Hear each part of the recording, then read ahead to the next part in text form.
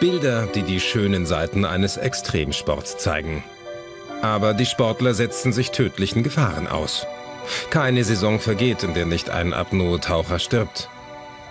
Doch für die Macher des Films Narcos ist Apnoe-Tauchen einfach die schönste Sportart der Welt.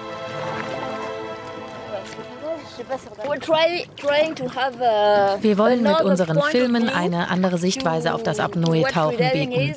Deshalb zeigen wir keine Rekordversuche oder extremes Tieftauchen, sondern wir betonen bewusst die Schönheit dieses Sports. Nizza. Hier in der französischen Küstenstadt bereiten sich die Apnoe-Taucher Julie Gauthier und Guillaume Nery mit Stretching und Atemübungen auf den heutigen Dreh vor. In 100 Metern Tiefe sind die Lungenflügel so groß wie zwei Orangen. Um den Druck in der Tiefe besser aushalten zu können, machen wir sehr viele Atem- und Stretchübungen.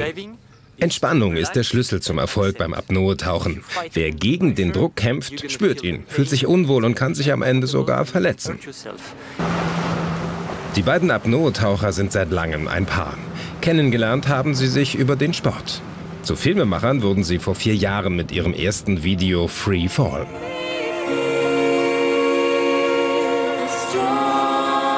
Inspiriert von Bassjumpern zeigt es den freien Fall von Guillaume Nery im Dienst Blue Hole auf den Bahamas.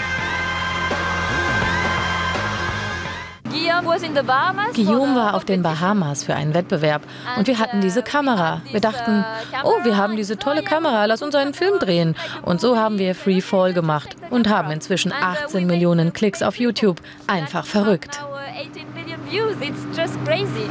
Die Internetfans. Sie haben per Crowdfunding das neueste Projekt der beiden finanziert. Narcos entstand vor der eigenen Haustür. Hier in der Bucht von Villefranche-sur-Mer sowie in den Bergen nahe der Côte d'Azur. In Narcos geht es um Halluzinationen, die Apnoe-Taucher in großen Tiefen haben. Der typische Tiefenrausch. Einmal sah Guillaume Nery, wie er seine Freundin heiratet.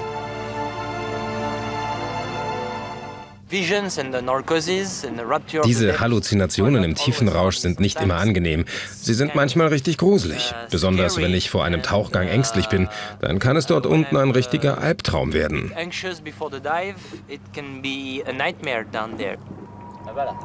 Heute stehen Probeaufnahmen für neue Videos auf dem Plan. Filmemacherin Julie Gauthier war schon immer vom tiefen Rausch fasziniert, auch weil sie ihn selbst nie erlebt hat. Besonders stark tritt der Tiefenrausch erst in 90 Metern und mehr auf. Bei den Dreharbeiten spielen die großen Tiefen keine Rolle. Hier geht's um die Zusammenarbeit unter Wasser. Und die ist ohne schweres Tauchequipment eine andere.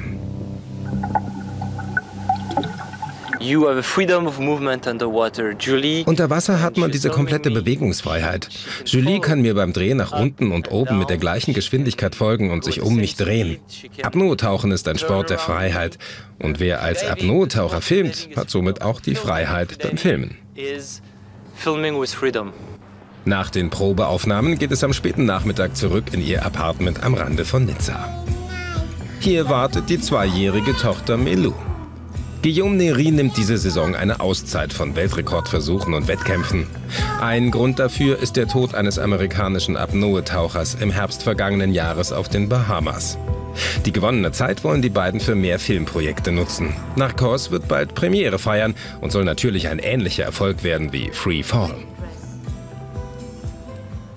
So if we expect too much, wir wollen nicht zu viel erwarten, sonst sind wir am Ende enttäuscht, auch wenn wir natürlich wieder auf einen neuen Erfolg hoffen.